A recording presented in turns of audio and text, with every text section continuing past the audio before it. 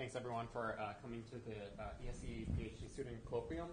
Uh, we have a, a, great speaker today. Uh, Avik uh, De did his uh, undergraduate uh, degrees in applied math and mechanical engineering at Johns Hopkins, and then he stuck around for a master's before coming to Penn to start his PhD in ESE, where he's been working with Dan Koditschek. So today he's going to be presenting some of his recent work in in uh, robotics and dynamical systems. So, uh, Avik, I'll let you take the floor. Yeah, thanks, Alec. That, that was uh, more introduction than I've ever had in my life. So, um, we've covered all of my accomplishments and degrees. Um, okay, yeah, so uh, thanks uh, for being here. Um, so, the first thing I did is I changed the title from what it was before. Uh, mostly because the, the, the title before was for a shorter talk I had given earlier this summer, and this talk is a slightly expanded version. Um, so I'm going to tell you what all of these things mean. Uh, maybe some people already know what those mean, but basically the, the talk is going to address the goal of uh, building up robot behaviors from uh, simpler primitives in a way that's useful to legged robots. Okay, so I'll go over an outline quickly just to make sure um, you know I, I cover uh, everything that's relevant here. Um, so first, I'm going to talk about some hardware advancements. So this is mostly, you know, just to set the stage, kind of to, to show you what kind of robots these experiments are going to be on. And when I say a robot name, you'll know what I'm talking about. Um, the second part, uh, so I should mention, by the way, a lot of the first part I worked on with Gavin Kenneally, who's here today in the audience.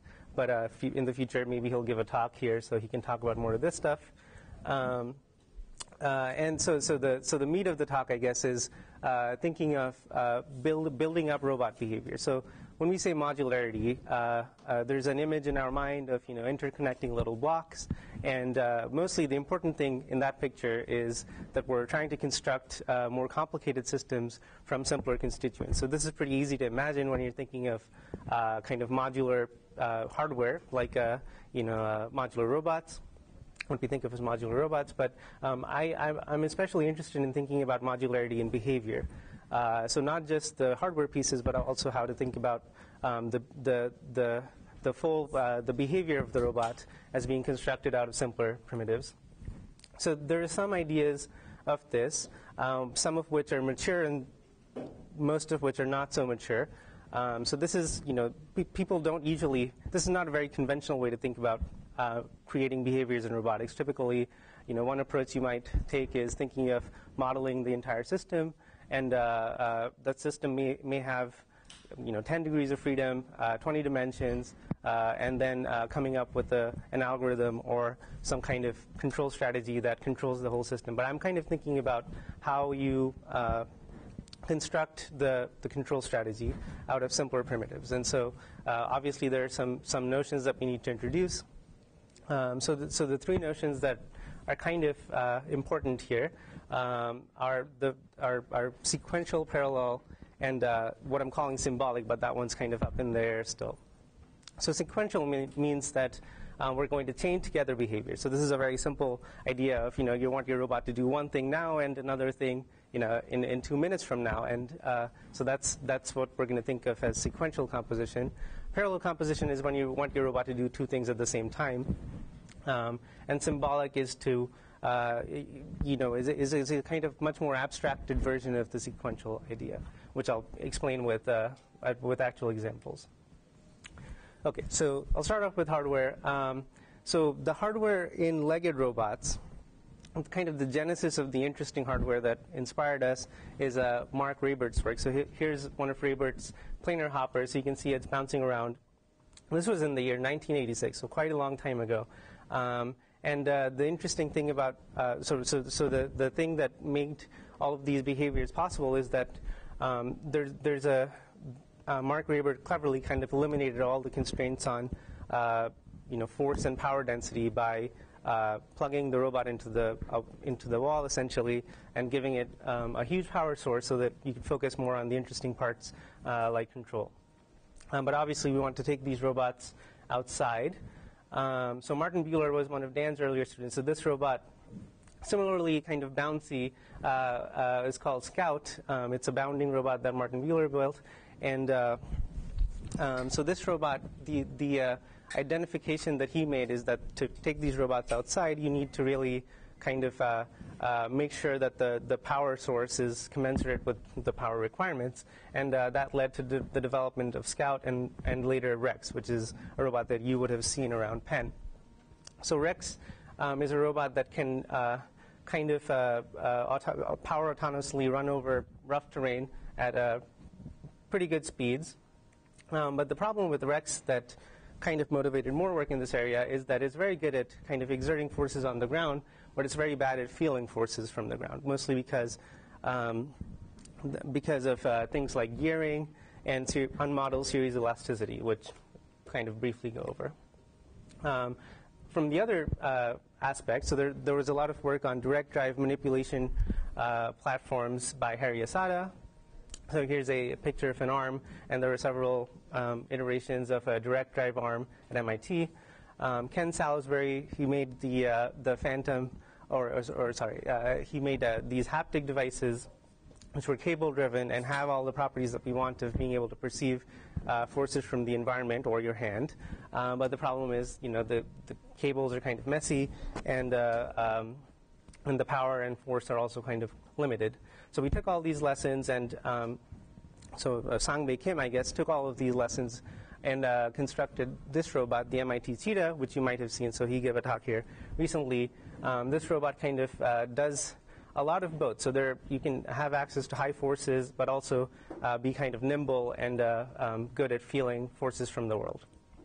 Um, so we've taken kind of all of these ideas and uh, uh kind of uh, pushed the idea of getting rid of the obstructions to transparency, these gearboxes, to the extreme, and gotten rid of gears um, completely. So, th- so um, Gavin built this leg, which is probably one of the only kind of legged things that you'll see that doesn't have a gearbox at all. So this is difficult to do for a number of reasons, which we've explored. Um, but essentially, um, all of the robots that I'm going to talk about have this uh, direct drive uh, infrastructure in use. Um, I'll quickly go over the robots. Um, so there are some lessons about the motors that we learned. Specifically, you want motors that are wider and bigger. So, so the picture up top kind of shows you the idea here. I'm not going to go too much into the details. Uh, we've also optimized things like the leg design, um, the construction of the robot, so that um, you know we're not wasting things on uh, structural uh, framing, uh, and instead devoting a large percent of the mass of the robot to just the motors. Um, and we want a high level of uh, control bandwidth. So you know the the, the RHex paradigm where um, you can have slow signals descending from the brain to the legs, um, kind of similar.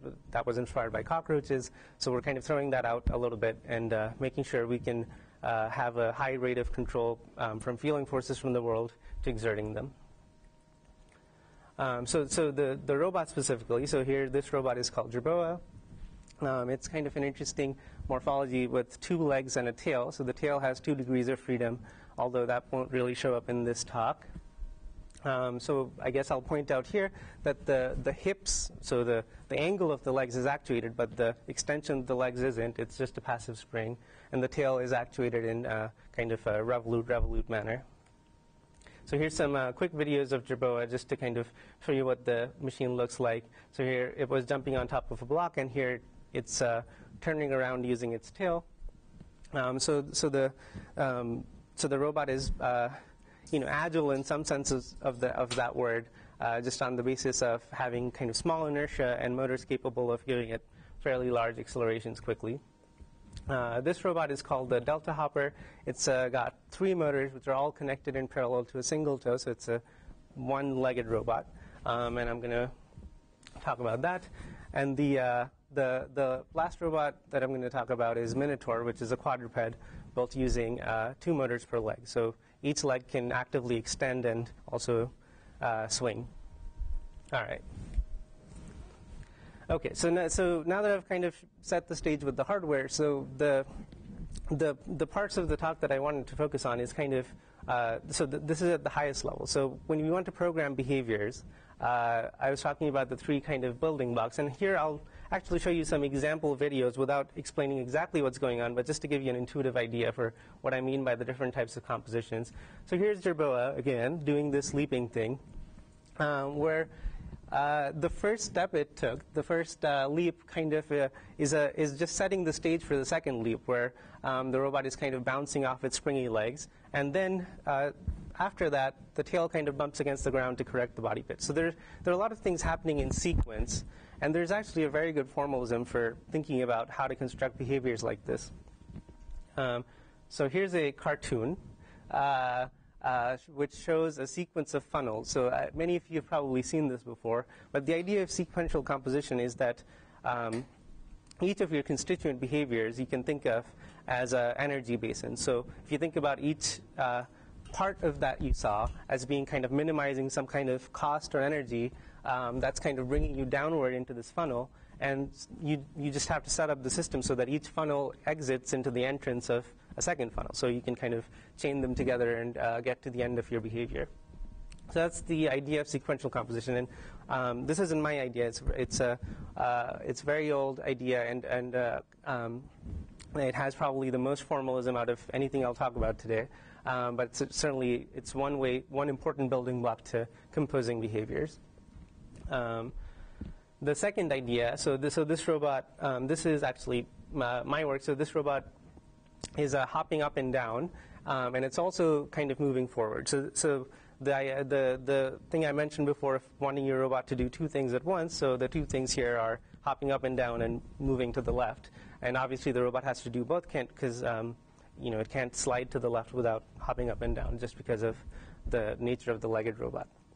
So this idea is parallel composition, and uh, I'm beginning to get some formalism um, for this, which I'll talk about briefly later.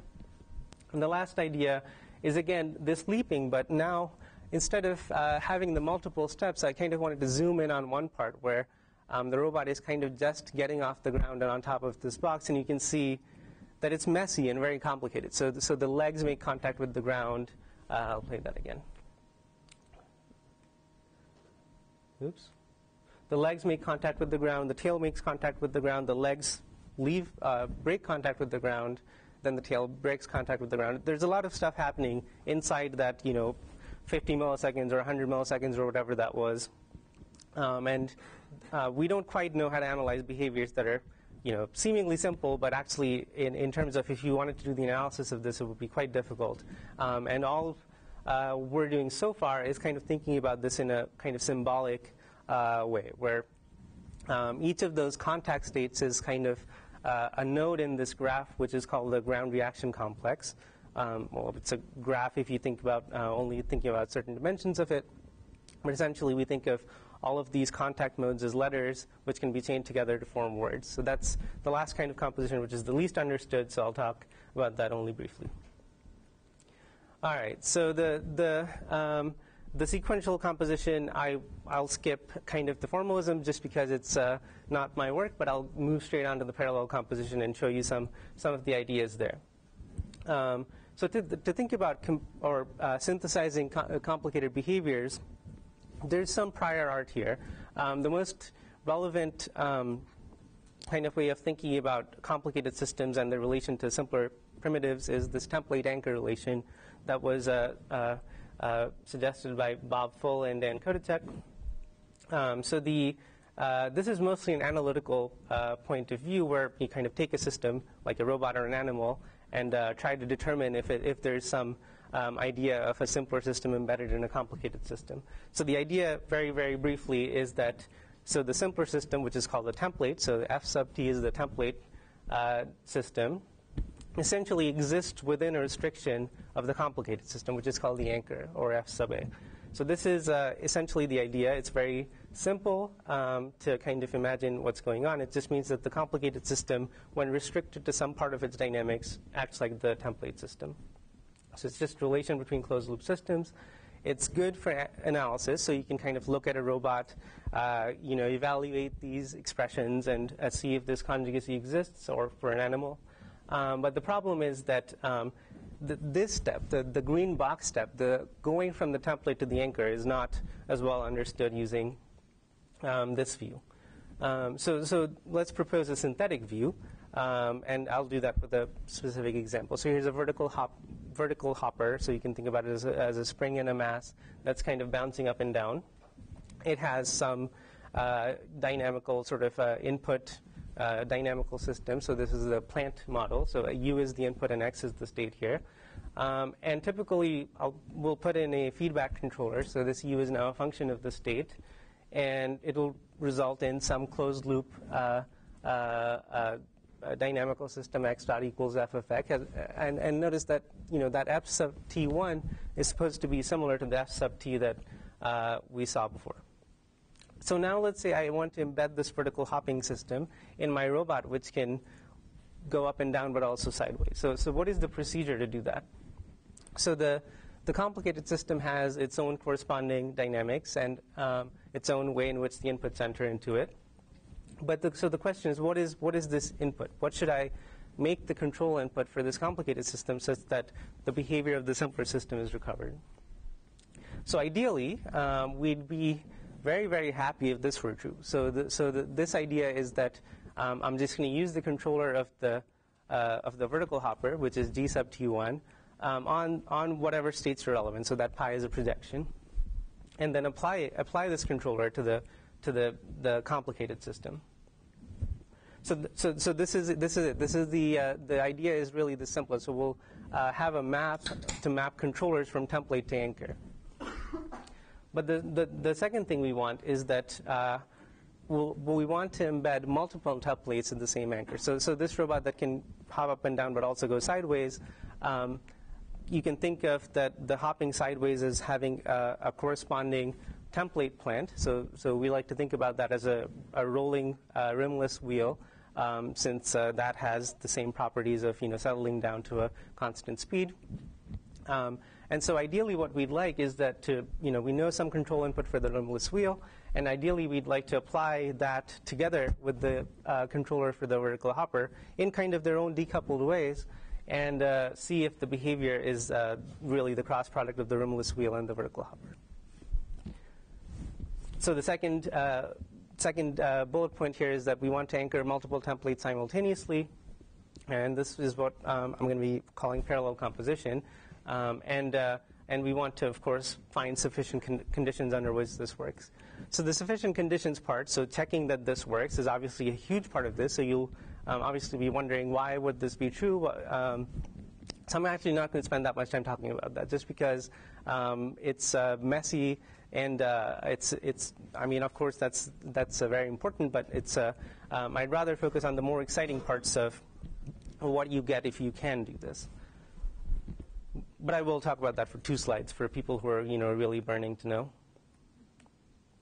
Um, okay, so so so the the key point here is that if you can do this, like I said, um, the conditions will come in, come soon. But if you can do this, then there's a notion of modularity you get in behavior that's uh, very very um, helpful. So I, I, just want to give some examples of how that appears. Um, so here's the first way that appears. So, so let's say I have that vertical hopping template that I talked about before, and I know how to implement that. So the, the, the useful thing is that I can now implement that vertical hopper template on several different kinds of robots and, and hopefully get a vertical hopping behavior in all of them. So here's the uh, cartoon of the template, and um, the idea essentially for my controller is that I have to restore the momentum that's lost to gravity.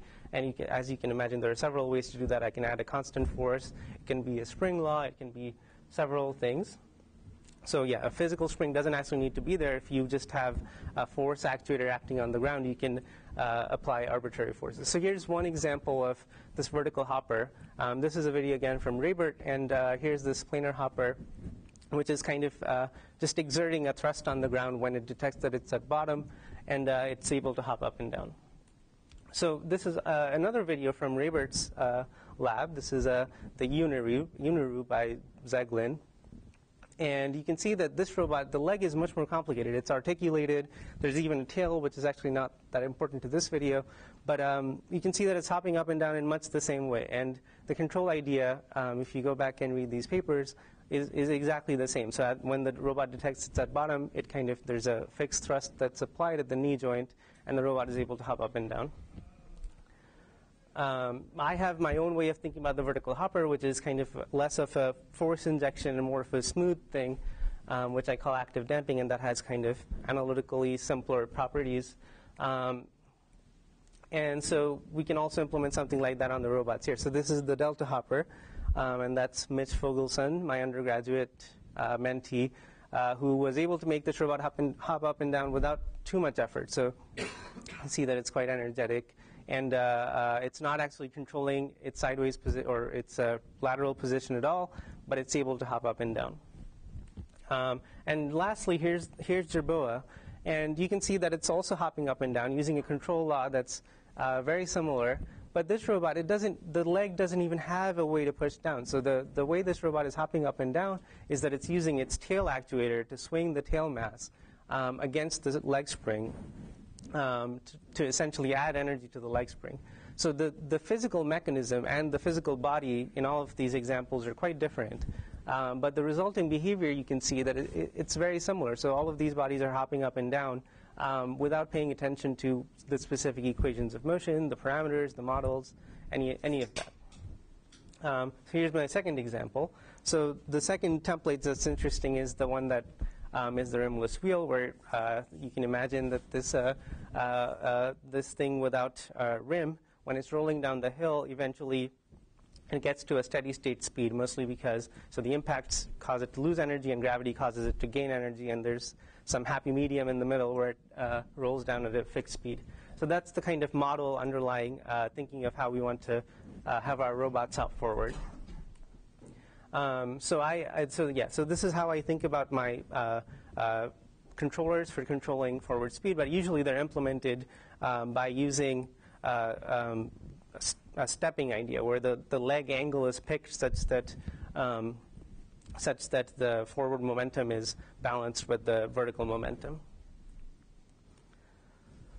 Um, so okay, so so here's an example of that acting. So the, in the previous slide, you saw Jerboa hopping up and down, and here all it's doing, in addition to that controller, um, is it's running a controller where the uh, leg angle in flight is uh, is picked as a is a particular function of the current forward speed, and that um, is a relatively small change to the code and it's completely it doesn't affect the vertical controller and here this robot is able to happily hop forward. Um, the same controller again where uh, we're just picking the stepping angle um, in flight is also able to make this robot the quadrupedal robot minitaur bound forward and lastly um, this video should be playing um, it's also able to make this robot pronk forward. So this is a, a different condition, so that the vertical controller and the pitch controller are different, but uh, the robot's happily able to control its forward speed slightly less fast than the bounding, but uh, all the same, you get very similar uh, kind of forward forward uh, motion out of it. So again, all of these the, these three videos were different behaviors and or very different morphologies, um, but the idea behind the control uh, the, is, is exactly the same. And the last, last template that I'll talk about is controlling uh, essentially what we think of as balance. So if uh, my body angles need to be stabilized in some way to prevent me from falling over. And uh, uh so, so the, the idea behind this is that if you have an available torque, which is that red arrow, you can essentially uh, apply torques to, uh, against the angles. So essentially, the body inertia comes into this in some way. So here's here's a one uh, implementation of this Minitaur. With when four legs touch the ground, it's able to apply differential extension forces essentially to control its roll and pitch angle. So here the robot is just kind of jumping up and down. Um, another less less uh, obvious example is that when the if you think about Minitaur in the um, horizontal plane, so a top-down view, uh, the legs can exert uh, kind of differential angle uh, uh forces or torques, hip torques, to apply moments on the body in the horizontal plane. And so it's able to control its facing or the, the yaw angle. And the last kind of unconventional example here is that um, if I take this first video and add a bias to the desired roll angle, I can make this robot kind of do this uh, uh, lateral motion even though it has no actuators out of the sagittal plane. Um, and lastly, so even though my ideas of this uh, uh, balance control template are very simple, where I'm just thinking about applying a force or applying a torque against the angle uh, degrees of freedom, there are much more complicated ideas of balance control that exist in the literature. Um, which uh, could also be introduced in the same way. Avik, can you say something about why you need to do it with this robot versus with RHex? The balance control? Yeah. Uh, are you doing this with this robot? Yeah. Okay. So uh, RHex. Um, uh, so so the, the the main way in which this torque, the torque, the red arrow is coming into play in Minitaur is through uh, extension leg forces. So in this first video, uh, essentially there are differential extension forces in the front and the back, and the left and the right, controlling its attitude. But in RHex, uh, those aren't available. There aren't any actuators that can actively control um, uh, those extension forces, so it's kind of hard to implement this. A very complicated kind of uh, modeling might uh, allow you to determine when the the RHex hip torques um, give you these forces that you need, um, but that's yeah, that's much more complicated than it's worth it. Okay, so now that I've talked about how you know having a library of simple templates can give you behaviors that uh, uh, affect a lot of bodies, I'm going to go back and talk about the reverse direction, where now we think about the same body having different uh, templates embedded within it. So here's Jerboa again. Um, so this is a, a, a, simulation animation of something you've seen before, where it's uh, using its tail to pump energy into the leg spring and bouncing up and down. But but so the so the end result here is that it's hopping forward. Um, but there's actually a different way, and here's a video of the same behavior which you've seen before. Um, but there's actually a different way in this uh, in which uh, uh, you can get the body hopping forward. Um, here, what's happening is that the hip is exerting a torque to, uh, which essentially gives it a projection in the vertical direction. So this is essentially how RHex works, where RHex doesn't have an extension actuator, and the hips recirculating essentially give it some amount of vertical force to bounce up and down. And this robot can do that as well. So I have a video of it working in a slightly different way here, where so you can see that the hip actuators are kind of uh, rotating and really adding the energy to the motion, and the tail is just poking against the ground to keep the body balanced. Um, so these are, yeah, again, so uh, the, the end result is the same, but there are different, quite different ways to, to attain it. So essentially, a, a, good way to think about this is that there are alternate solutions for getting the same behavior.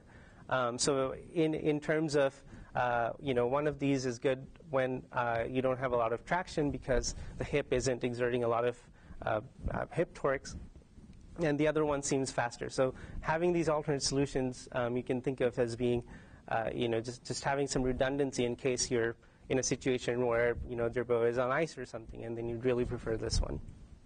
Um, and, and, and, there's a very uh, clean way of thinking about this.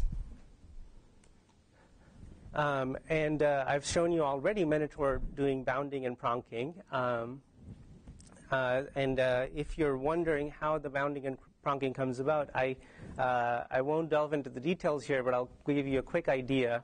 Um, so when Minitaur is bounding, it's essentially thinking of its front and rear as being independent vertical hoppers, and they kind of just bounce up and down, and that uh, makes Minitaur bound, and applying the appropriate speed controllers can make it bound forward.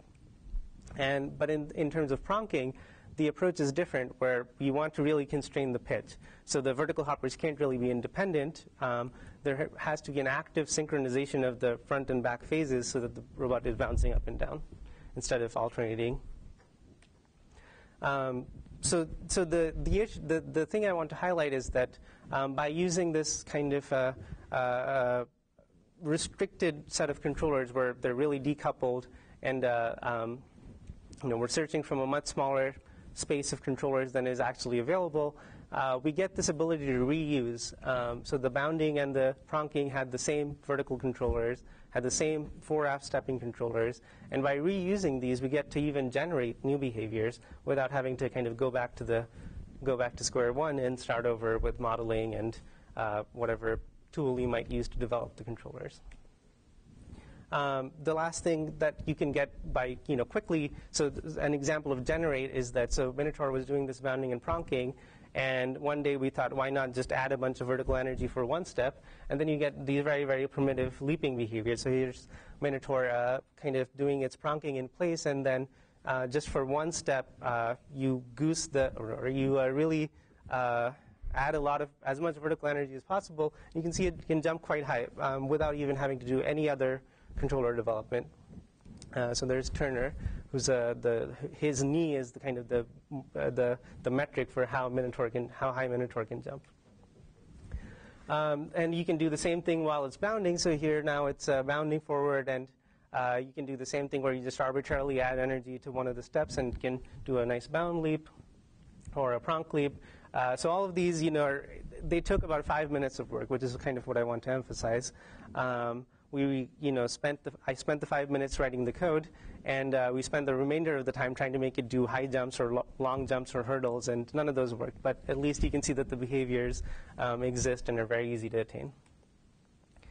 Um, okay, so, so this is the kind of the business end of this. So now that I've shown you that this is desirable, that you might want to have this kind of modularity, um, the question obviously is when can you get it? And that's a more difficult question to answer, which I'm working on now. So I'll give you some flavor of the answer there. So when we think about what we want, the correctness uh, condition here would be that uh, the limit of the composition, so the, you know, the, the, the limiting behavior of Jerboa is the, is the product of the limiting behavior of the template systems. So that's kind of obvious, but it's a difficult condition. So there's a stronger statement um, that uh, that the composed system, Jerboa, or the slip in this example, is really dynamically conjugate to a kind of a diagonal cross product of these sim- simple, simpler systems.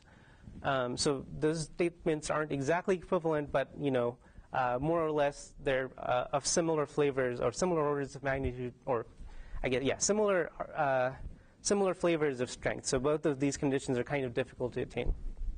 Um, so the the the uh, the formulation of uh, templates and anchors actually uh, is comes pretty close to uh, you know knowing when to answer that question. It's it's basically uh, this, the statement becomes that the compose system anchors each of these templates um, uh, simultaneously.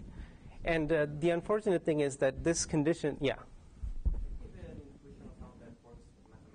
Yeah, sure, sure. Um, so. So it's very hard to uh, attain in practice, but if you pardon me just using this example, even though I, it doesn't work in this example, but um, so, so the, if it did work in this example, what, what, you'd get is that the, if you write down the equations of motion for slip, so you have an x dot equals f of x, you essentially see that there was an x1 and an x2 where um, x1 dot was essentially only a function of x1 and x2 dot is only a function of x2. And so it's kind of a diagonal decoupled system. Uh, but that, that, doesn't happen. It, it, won't happen in SLIP. It's uh, not possible. Um, but, but if that happened, then you'd, you'd really know that the two systems are kind of evolving separately, because x1 only depends on x1, and the limit of the x1 system would re- really be, or the x1 components of the composed system would really be kind of what the x1 system on its own would have gotten to. So, so you'd, you'd have gotten the first two sentences there, um, if that were true, but it's usually not true. Um, so, so what I'm suggesting here is trying to think of a re- relaxation of the systems, uh, uh, which is essentially an averaging approximation. I'll talk about averaging a little bit, but essentially the idea is that if you relax this condition a little bit, instead of thinking about uh, uh conjugacy of the product, you think about conjugacy of the, the averaged approximation of the product. Um, so here's a cartoon. Uh, um, so, so the classical notion of averaging, or sorry, the classical notion of anchoring is that um, the system evolving looks like the red line, where uh, uh, all of the, the flow kind of is trying to collapse onto a smaller dimensional uh, submanifold. Um, and the blue line is really the template. So, so the, remember when I uh, was writing that equation before that a restriction of the anchor dynamics recovers the template, so yeah, the, the, a restriction of the red dynamics onto that blue subset would be essentially uh, that statement. But instead, what I'm thinking of is that forget um, exactly what the uh, what the red and blue systems are, but instead kind of average over the over the continuous uh, time evolution of the system. And then even if the red line is wiggling a lot, um, as long as the average behavior over um, some time scale uh, resembles the template, that's good enough. So uh, this approximation, while it seems arbitrary, um, there's a there's a lot of um, classical dynamical systems theory on averaging, which shows you that um, average systems actually recover the asymptotic properties of non-average systems, um, which is exactly kind of what we want if we want to prove stability. So, so it might be useful. Um, so uh, we can do this. So I've taken this vertical hopper system as a very, very basic example, um, and uh, essentially I've uh, uh you know plotted just this vertical hopping system. The first plot is height. The second plot is kind of the the energy of the system, and you can see that it's trying to attain you know a fixed energy level. And the interesting thing here is that um, what averaging lets us do is it lets us look at this complicated blue line, which is you know wiggling, and there's a jump in flight in flight phase. And essentially, that what the average system does is, if you do the algebra, it recovers this red system, which you can see essentially has just smoothed out all of the wiggly blue dynamics, and it's also kind of gotten rid of the reset part in flight. And essentially, it lets me think about this complicated hybrid system as a this, this red line, if you get rid of these dashed parts, essentially is an LTI system with a uh, very simple um, system evolution. You know, you can, you can see the first order exponential here. Um, so, so that's the kind of approximation, and, and obviously the, you can see the resemblance in the evolution of the blue system and the red systems, and the red system was much easier to analyze. So that's the kind of thing we're looking to exploit. Um, an example of this that we have worked out for, you know, a, with a lot of assumptions is uh, Jerboa with pitch constraint. Um, so here's the, the, here are the two templates that we're looking for.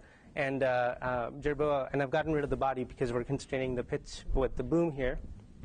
Um, the two templates we're looking for are the vertical hopping and the rolling forward.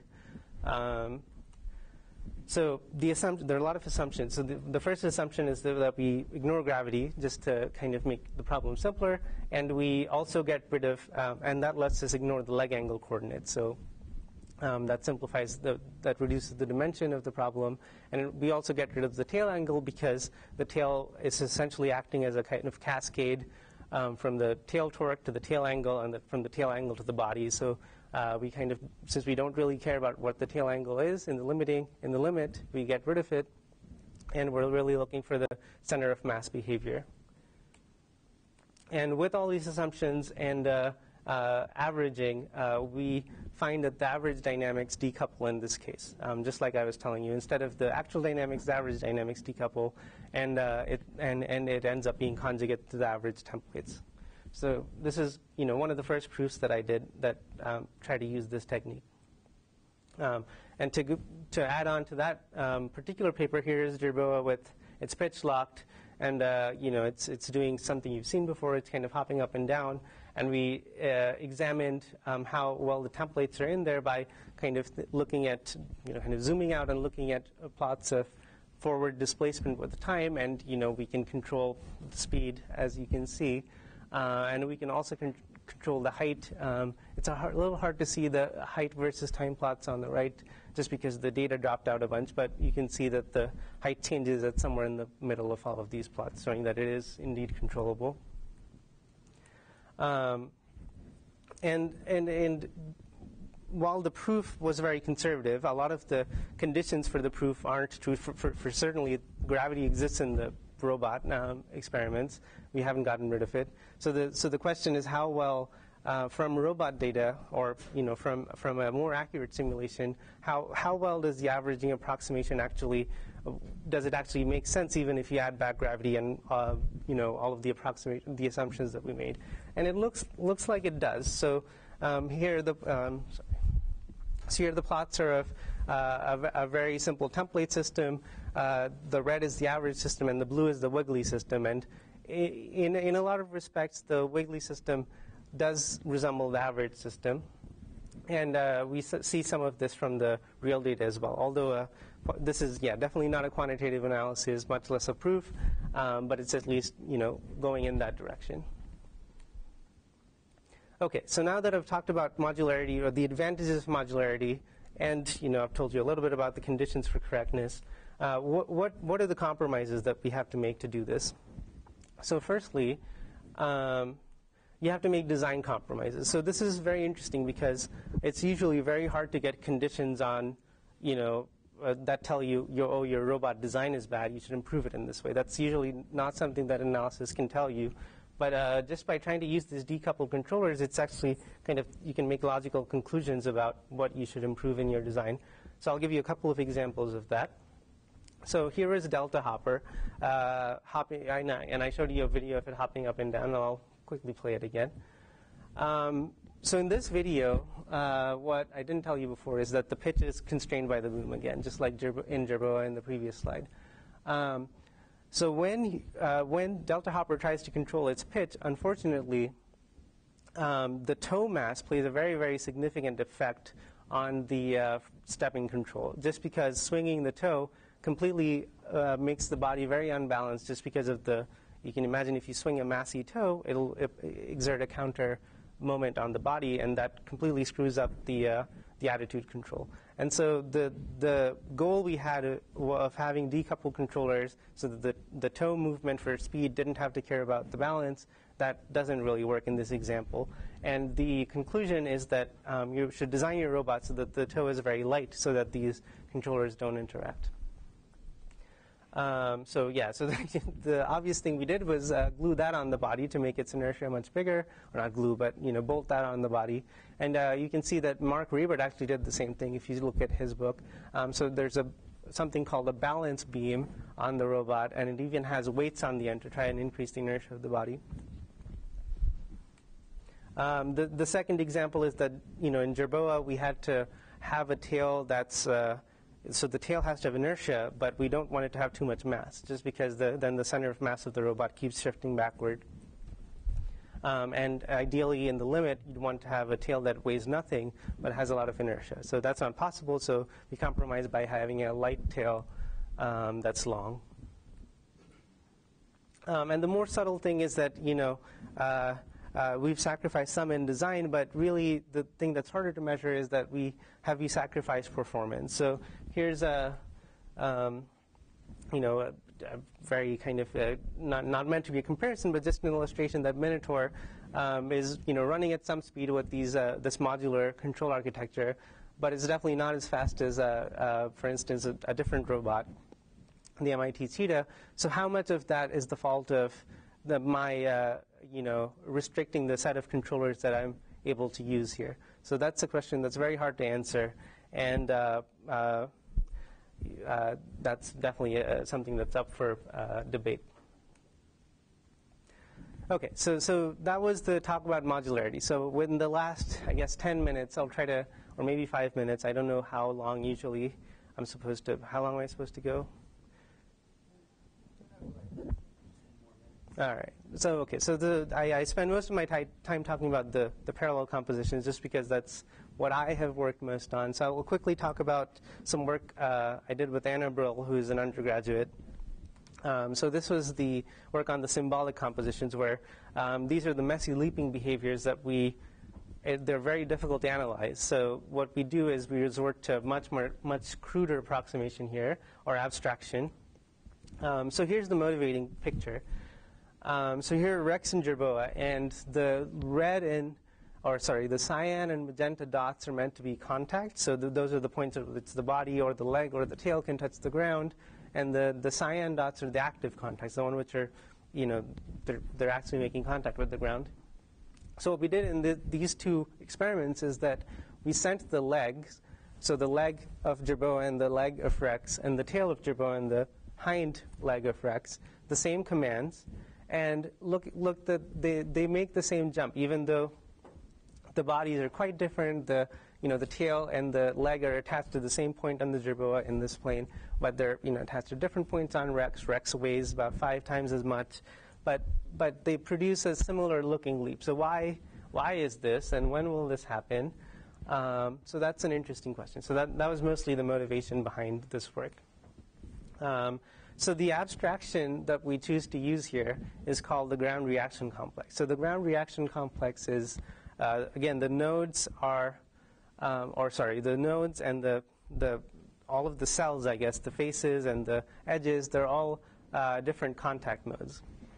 So the uh, binary strings here kind of represent which contacts are active, one being active, zero being not active, where the full string represents all the possible contacts. So um, I'll use this example to kind of illustrate. So here's a, a, a jerboa without a tail, which is the first model we looked at, which has three possible contacts, so body, body, and leg. And so the string is of length 3, and 1 is where each of these contacts are active. You can see you get this kind of ground reaction complex. So this, this abstraction, um, as I was saying, is much cruder, uh, mostly because we've lost any notion of dynamics here. So we've kind of um, taken snapshots of the robot, and this is just in the configuration space. So obviously, there's no dynamics on this complex. And uh, so that's kind of the sacrifice we have to make to kind of try to simplify and get some traction on this problem. Um, so leaping, in particular, becomes kind of a sequence through this cell complex where you start with the body touching the ground um, and none of the limbs. And the goal is to get to this stage where the robot is airborne. None of the contacts are active. Um, and uh, obviously, you can see that there are you know, logical um, constraints you can't, or and dynamic constraints, so you can't directly levitate from the body on the ground to the body in the air. You have to take some sequence of, uh, or so, some path through this complex, um, uh, which we call a, a leap, essentially. So leaps are words, and uh, each of these nodes are letters. So if you think about an analogy to some kind of grammar or something, so we're starting from letters and composing words from them. Uh, yeah. So essentially, this is a, an example of how uh, this one-legged jerboa might do a leap. So you know the leg comes down, and then uh, the leg leaves the ground, and then uh, finally it's airborne. And you can have different kinds of leaps. So here's that platform, and uh, here it is. It's trying to do this leap, and it's failing miserably. So um, one thing that we got from this abstraction, which is interesting, is that let us lets us organize the different uh, dynamical uh, uh, equations of motion that you get. And by kind of chaining together the, you know, the hybrid, it's essentially the hybrid system because each of the contact cells has a different set of equations of motion. There's a reset and a guard for transitions between them. And you can actually use this formalism to some extent to get, get so we, we were able to get a proof that this, this monopedal model um, cannot, do a, cannot do a level leap. So it can't spin its rigid leg in, a, in such a way such that the robot will be off the ground um, at some uh, sufficient height, um, as well as the pitch will be zero. So it's impossible. So we were able to prove this, which is um, typically this kind of proof is very difficult, but um, some of this formalism were, was very helpful in organizing this kind of proof. Um, so now what we've done is obviously since we know that that's impossible, we changed the design. Um, instead of having a rigid leg, we added a compliant leg, which I won't go, to, go into the details of what changes that um, uh, induces, but you can see that now you can have level leaps. In the, in the second one, the pitch of the body is actually completely you know, reversed in the middle of the, in the middle of flight and you can actually get some, some useful behavior instead of kind of hopelessly spinning through the air. Um, the other uh, you know, thing that can add complexity is if you have another limb, obviously. So now we're uh, using the tail as a leg. And uh, here, Jerboa is uh, able to do things like flip itself over. This is, you know, if, if, the, if the robot has a top and a bottom, you, you can imagine needing to kind of dynamically reorient. And uh, obviously that's possible.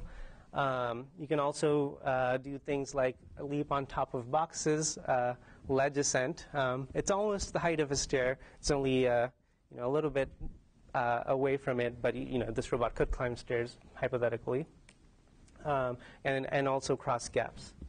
So this is all uh, with, uh, with very, very simple control strategies of just um, essentially applying maximum torque or voltage to the motors um, in, in, a, in a way that's parameterized by the kind of time of activation.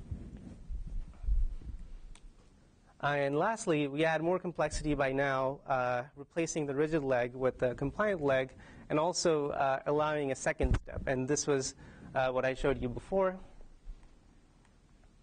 And uh, now we can get dramatically better behavior. So you can cross a ledge that's almost two times the body length and uh, jump up a ledge that's um, 1.6 times the hip height. So yeah, this could certainly climb a stair, even though we didn't really try that on stairs. Okay, so so to get back to the question that motivated this, when when is Jerboa and RHex? When are Jerboa and RHex going to leap the same? Um, so we looked at the the ground reaction complex and the paths taken through them for some of the leaps on both the robots, including the one that that picture is of, um, and we kind of identified that there are some leaps that Jerboa can't do. So so, so the, these gray paths that RHex can uh, leap through, uh, Jerboa can't attain them because of things like kinematic limits. So the tail for instance, uh, is much longer than the leg. And you can see that that might introduce some workspace constraints, and that kind of takes away some of the leaps that are possible. But for the leaps that are um, that both robots can do, there's a you know some kind of correspondence between them. So what we did was we took leaping data, um, and and the green and the yellow parts are the ones that I want to focus on. And this is all kind of data driven. So there's uh, the, we're only starting to think about formal understanding of these things. But you can see that these uh, green and yellow leaps, um, firstly, um, there's a discontinuity at the transition for a lot of the states. So the, the red one, kind of, you can see that the, there's a big jump there for both RHex and Jerboa. And within, and within each of these uh, uh, leap windows, the trends for both of the robots are very similar. Um, so what does this tell us? It basically tells us that for the leaps that are um, similar, the continuous dynamics within uh, all of the, the, the contact mode that it's going through are kind of similar for both the robots. And it's also telling us that there's a drastic difference when you go from one leap to another. So all of these are uh, useful to know. So for instance, if you wanted uh, to target a specific um, apex state, um, you, you, you, would, you might want to pick uh, the correct parameter on this x-axis such that you get um, close to uh, the right apex state and also avoid regions of high sensitivity. So I wouldn't want to pick this word or this region here just because there's a you know a discontinuity in the, that region, for instance, of the parameter space. Um, okay, so I'll conclude now. Um, so mostly uh, what I talked about is abstraction, um, how to think about behaviors as being composed of simpler things in, in a number of different ways. Um, and the, the, the me- message is that abstraction might be useful. Um, so here's a kind of a, a childish example. But so uh, on the left, there's someone writing a bubble sort program in assembly. And on the right is a, and, and obviously that's not complete, it's much longer. Um, and the, on the right is an example of the same algorithm in C. And you can see that it's much shorter, it's much cleaner, um, easier to maintain. But maybe the assembly one performs better, who knows? Um, but the thing is, in programming, we've done this. We've made this trade-off to go to higher level languages just because the abstraction is useful. We don't want to worry about which register has which variable at which time. We'd rather just let the, you know, the compiler deal with that in a specific way. Um, and, and, and we choose the abstraction even though we don't know that we're getting the maximum possible performance. So maybe there's a similar analogy for robots. Um, the second takeaway is that um, we can synthesize complicated behaviors from template behaviors. Um, so we shouldn't think about the robot as being a kind of an immutable body. You can change how your Minitaur is moving just because you can change what templates are embedded within it. Um, and and uh, so, so this idea of building up behaviors is different from optimization. Um, optimization is usually, you know, you, t- you I would take the whole system and kind of run it through an optimizing algorithm and see what behavior comes out. But, but, but the problem with that is that it's not generative. So I can't learn something from an optimization and use it for a slightly different problem, whereas that's mostly what I showed you before in this talk where we were you know, developing a vertical hopping controller and, and using it for several different um, instances of behaviors and even instances of robots. Um, and uh, yeah, I guess I'll end here um, sort of discussing my future work, which is possibly present work now. So yeah, thank you.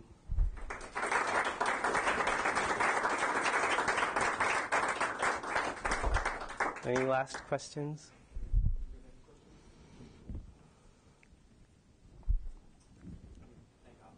All right, thanks.